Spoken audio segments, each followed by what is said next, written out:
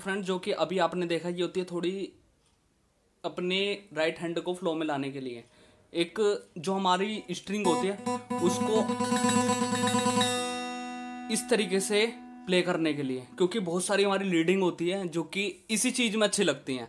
और आपको क्या क्या पता खाली डाउन और अप इसकी स्पीड कैसे गेन करनी है, वो नहीं पता। तो इसको चलाने के लिए भी बहुत एक्सरसाइज चाहिए होती है। जो कि राइट कोई नहीं बताता एंड मुझे भी नहीं पता, ना मैंने सर्च करा। तो आज की वीडियो में आपको बताऊँगा कि इसको किस तरीके से मूव करना होता है।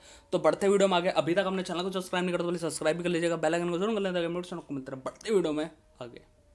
तो फ्रेंड जो कि हमारी ये है पिक ठीक है? इसको इस तरीके से पकड़ना है कि ये आपके हैंड में से गिरे ना।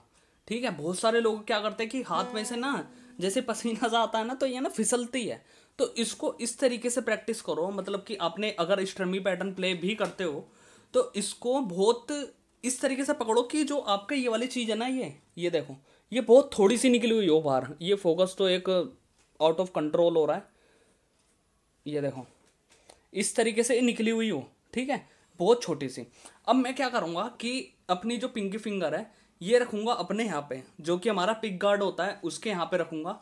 एंड मैं कोई भी एक नोट प्ले करूँगा, ठीक है? मैंने यहाँ पे प्ले करा एंड इसको मैं ऐसे ऐसे करूँगा। ठीक है? इसको प्ले करने के लिए। मैं एक नोट पे ऐसे ऐसे मारूँगा या इस पे ही होल्ड रहूँगा। तो अब मैंने क्या करा कि मैंने अपनी पिंकी फिंगर को, जो हमारी ये वाली पिंकी फिंगर है, ये मैंने यहाँ पे बेस लगा लिया ऐसे, ताकि मेरा हैंड कंट्रोल में रहे। और जो मेरा ये वाला जो थम है, ये देखो, जो मेरा ये वाला थम है, इसको मैं लगाऊँगा यहाँ पे।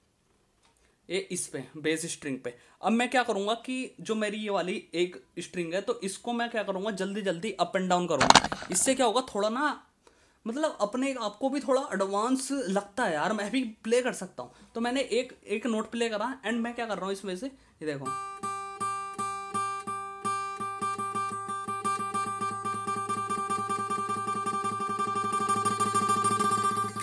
और इसको इतना मारना है अपने इसको इतना करना है कि ये आपका खाली टच हो, ठीक है? ये खाली आपका टच हो।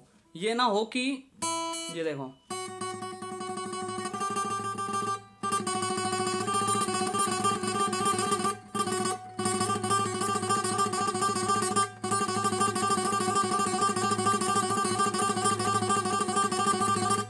ठीक है? इस तरीके से हमें ये बिठाना है और इसकी बहुत प्रैक्टिस करनी है आपको, ताकि ये बहुत सारी लीडिंग में हमारा प्ले होता है, ठीक है? अगर अगर आप लीडिंग प्ले करते हो तो उसके अंदर भी बहुत मज़ा आने वाला है, क्योंकि इसकी प्रैक्टिस हर कोई नहीं बताता, और जो इसकी ब्राइट प्रैक्टिस है, वो यही है कि हमारे दोनों बेस पे इसको कंट्रोल करना बहुत ज़्यादा मुश्किल काम है, क्योंकि एक यहाँ पे हम इस पे बेस लगाएँगे, और एक हम थम को अपनी बेस स्ट्रिंग पे रखेंगे, ठीक है? रखते नहीं है, खाली हम टच करते हैं, ताकि हमारा ये जो, ये वाली जो चीज़ है, ये एकदम अपने बीच में आए।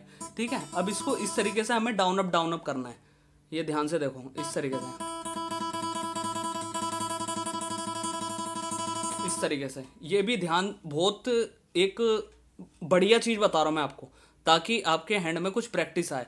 आप बोर ना हो, ठीक है? ये जो हमारी प्रैक्टिस है, मैंने एक नोट पे रखा। बहुत हल्का टच करना है इसको, बहुत लाइट टच करना है। अब ये नहीं कि यहाँ पे करो। ये गलत है। ये गलत है। खाली बहुत ना के बराबर टच करना है इसको। बिल्कुल जो इसकी, जो इसका मुँह है पिक का वो हल्का सा टोचो बिल्कुल। ताकि टच होते ही आपका नीचे आवाज़ आ जाए स्ट्रिंग की। और ऐसे करके देखो।